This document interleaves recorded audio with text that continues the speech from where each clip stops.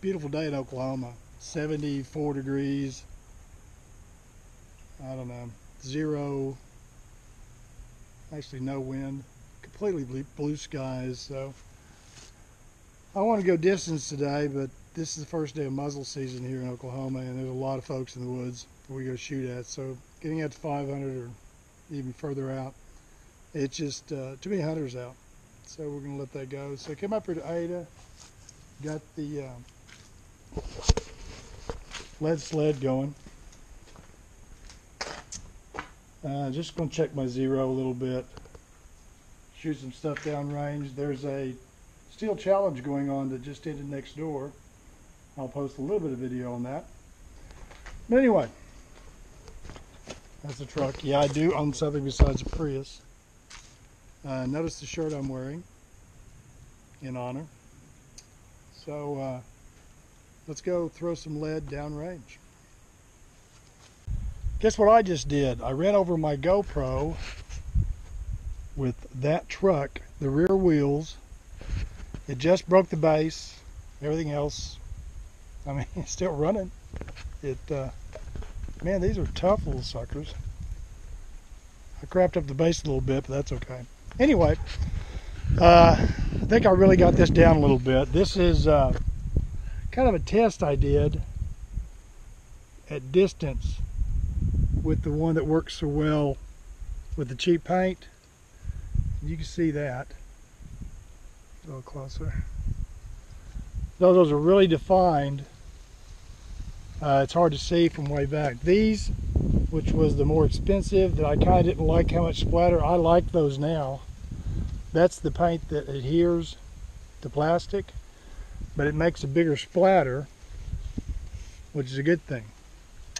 But anyway, I went out and got my, uh, I'm not a big fan of lead sleds, I'm just not, never have been. But anyway, I was checking to make sure I have perfect zero and uh, something on my camera lens. Well, it's working. But anyway, this is my first group.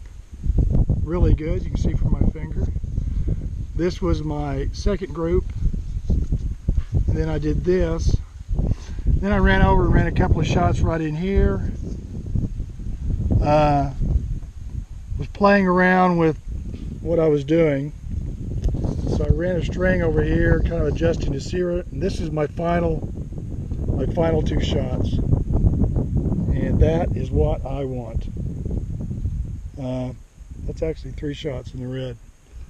These over here was just, I took it off the uh, sled and uh, just shooting off the bipod and just ran a string out on it to see what it was doing. The difference would be from the pod to the uh, to the from the rest.